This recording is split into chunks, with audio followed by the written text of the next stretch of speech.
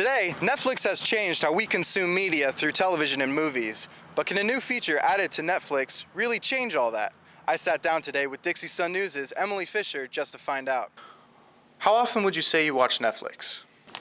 I probably watch Netflix four times a week at least. Generally, it's a TV show.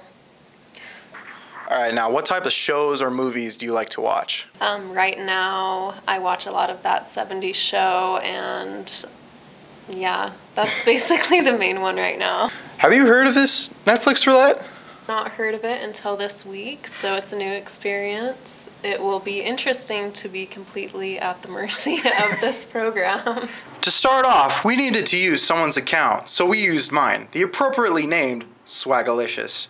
For our first movie, we were surprised to find Saltwater Aquarium. What we didn't realize until 30 seconds into the hour long ordeal was that that's all it was a saltwater aquarium.